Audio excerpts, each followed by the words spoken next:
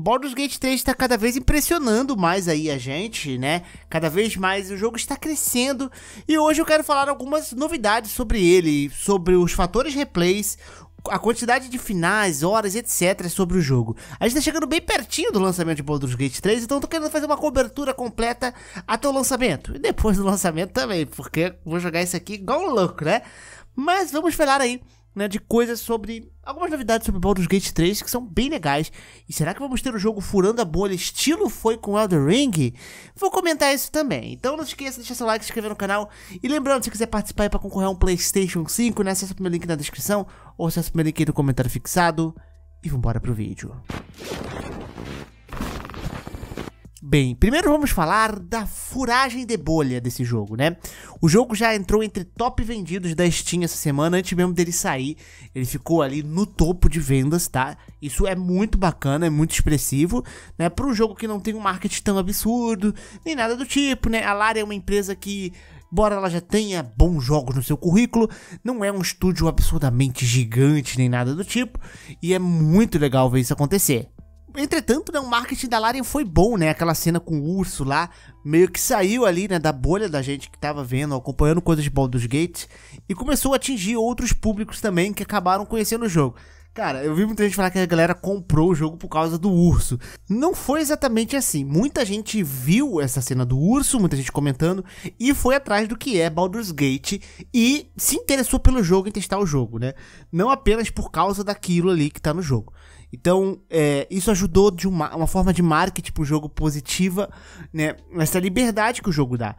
E isso daí ajudou a acabar o jogo furando a bolha. Eu acho que ele não deve, talvez, furar o nível de Elden Ring, tá? Porque o Elden Ring, ainda, querendo ou não, ele é um pouco mais.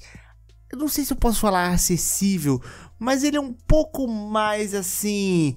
aberto de certa forma para os jogadores que irem jogar. Eu acredito ainda que o que segura muito aí o Baldur's Gate não furar mais a bolha que o The Ring é o combate tático e o combate por turnos. Arrisco a dizer, posso estar errado, tá? O jogo pode realmente furar a bolha. E mais é, é, um pouquinho da visão que eu tenho aqui.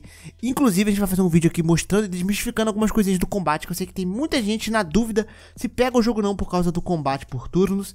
E eu vou fazer um videozinho mostrando bem ali o combate para vocês decidirem se vocês acham que devem dar uma chance ou não. Eu vi muita gente falar que não gosta de combate de turnos, deu uma chance pro Baldur's Gate e curtiu bastante, tá? Mas enfim, eu acho que o jogo pode sim furar a bolha aí é, talvez não no nível do Elden Ring, mas eu acho que ele, na verdade, ele já tá meio que furando, na minha opinião. Então eu acho que daí é só pra melhor. O lançamento for bom, tudo direitinho, o jogo tem tudo para ser um baita de um sucesso e continuar subindo aí na escala é, de pessoas gostando dele e aceitando este, este jogo aí que começou muito nichado e tá se expandindo. Isso é bem legal de ver. É, é um estúdio que faz o jogo muito com carinho. É, eu prezo muito por isso, eu prezo por muito carinho de jogos. Vocês veem que eu trago muitos detalhes de jogos aqui, detalhezinhos que você não viu, porque eu adoro jogos com detalhezinhos minuciosos. E Baldur's Gate é aquele jogo atento a detalhes minuciosos, a opçõezinhas que mudam coisas às vezes mínimas, mas é tanto carinho e eu gosto muito disso. É algo que eu tô prezando demais ultimamente dos jogos. E eu, eu, por isso que eu tô muito animado com Baldur's Gate, que eu consigo ver um carinho, pelo menos ali no Early Access, o que eu joguei de mais de 50 horas, eu consigo ver um carinho por parte da empresa, né? Enfim, vamos falar de um fator replay desse jogo, porque eu já acho que já comentei aqui, mas o fator replay desse jogo é absurdo. E nós tivemos mais ou menos alguns números sobre é, a questão desse fator replay. Né, eu já falei que a gente tem 170 e poucas horas de diálogos, cutscenes no jogo, por exemplo. É óbvio que você não vai ver tudo isso numa gameplay. Isso está atrelado a justamente o fator replay do jogo, que às vezes que você pode rejogar o game e ver coisas diferentes, escolher coisas diferentes. E somando tudo isso, é muito conteúdo, né? São mais de 100 horas de conteúdo apenas disso, diálogos, cutscenes etc, tá? Mas também como a questão dos finais do jogo. São mais de 17 mil finais em Baldur's Gate 3. Lembrando que esses 17 mil finais não são finais mains, assim, né? Vai ter 17 mil finais totalmente diferentes, cores. Não, são variações de finais com detalhezinhos diferentes. Um exemplo disso é o Undertale, que você tem alguns finais próprios, que são três ou quatro finais que você tem, mas você tem 90 e poucas variações de finais dentro de Undertale por causa de escolhas, etc. É mais ou menos essa linha aí com Baldur's Gate, né? Você vai ter os finais principais, mas vão ter várias variações do mesmo final principal por causa das suas escolhas. E isso que mostra o fator replay do jogo, né?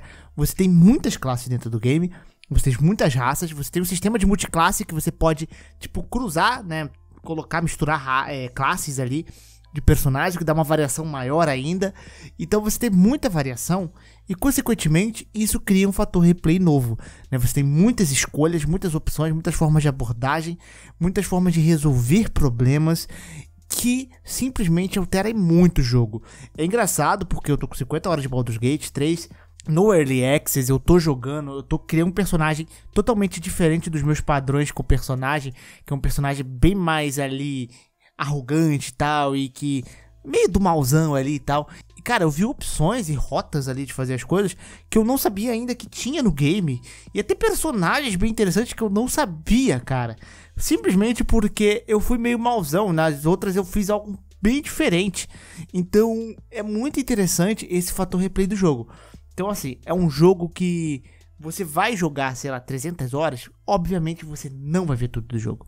É aquele jogo que você pode jogar por meses e você não vai ter descoberto tudo do game. Isso é Baldur's Gate, cara. E esses 17 mil finais mostram mais ou menos isso. Mostra a quantidade de fator replay que a gente vai ter no jogo, a quantidade absurda de coisas que vão ter para fazer e pra repetir de formas diferentes, que cria uma variedade de gameplay absurdamente incrível, cara. E isso é muito legal. Isso daqui é bem animador do jogo, tá? É mais motivo ainda, né, de eu querer ver esse produto final, querer jogar Baldur's Gate, né, de eu estar animado para esse jogo bem animado, né? É esse carinho com muitos detalhes, muitas variações, né, dependendo das suas escolhas. E isso é algo que realmente não é um padrão em jogos. É muito difícil você ter essa variação total ou né, variações que realmente pesam desse jeito. Então, esses 17 mil finais aí é algo muito expressivo, né? Essas variações de final é algo muito expressivo para mostrar a quantidade absurda de opções que esse jogo te dá, né? Isso é maravilhoso. E por último, né, o tamanho do ato 1 na versão final do jogo. Estamos aí chegando, né? Vocês sabem aí, eu acho que já tem a versão Early Access que você pode jogar o ato 1, mas o ato 1 que tá ali não tá inteiro, vão ter mudanças aí, eu trouxe já vídeo comentando sobre isso, né? E, entretanto, existe 33% ainda mais de mudanças e conteúdos novos vindo pro ato 1 aí quando a versão final sair. Então, se você jogou a versão Early Access aí, se prepara porque vai resetar tudo, né? Então você vai jogar novamente o ato 1, mas vai ter bastante coisas novas Inclusive é um incentivo para você tentar buscar essas rotas novas que você ainda não buscou, né, para dar um fator novo pro ato 1 seu. E é o que eu falei de carinho com o jogo. Cara, se fosse uma empresa mais OK assim, os caras poderiam pegar aquele ato 1 que tá ali, só completar algumas coisinhas que faltam ali e lançar aquele ato 1 que tá ali. E por incrível que pareça, não estaria ruim eu não estaria reclamando. Acho que quase ninguém estaria reclamando se a versão final fosse o ato 1 do Early Access que tá ali. Mas a empresa é tão carinhosa com esse jogo que ainda tem muita coisa dentro do próprio Early Access. Os caras ainda adicionaram ali. Eles não pegaram lá, ah, beleza, a galera gostou do Early Access aqui, né? Vamos deixar desse jeito, vamos focar no resto aqui para lançar, sei lá, mais rápido o jogo. Não, os caras ainda trazem conteúdo que é o ato 1 do Early Access da galera, com muita coisa, muita novidade é, personagens que foram resetados. Então, assim, é carinho. É, é isso que eu quero. É carinho no jogo. É isso, Baldur's Gate.